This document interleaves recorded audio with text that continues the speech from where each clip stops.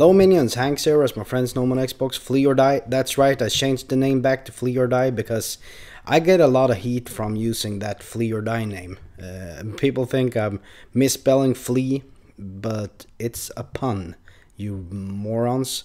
So anyway, I came across this kid on Xbox Live. I was playing Black Ops 2, and I was using an LSAT the game before, and it, I didn't do that well. So I got these messages.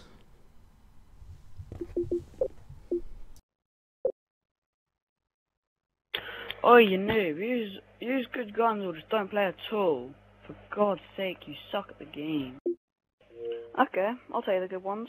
AN-94, M8A1, MSMC, MP7, M27. What else is there? Oh, that's right. DSR, Ballista. Mm, that's it, really.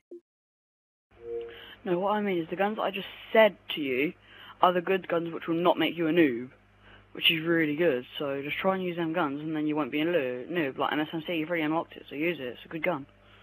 You won't be a noob, and I'm not calling you a noob anyway. Oh, you noob. Use, use good guns or just don't play at all. For God's sake, you suck at the game. Uh-oh, retard alert!